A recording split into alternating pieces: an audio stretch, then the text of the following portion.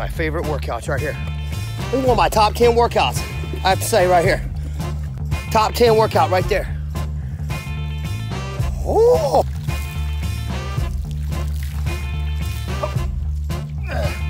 Big boy bucket today.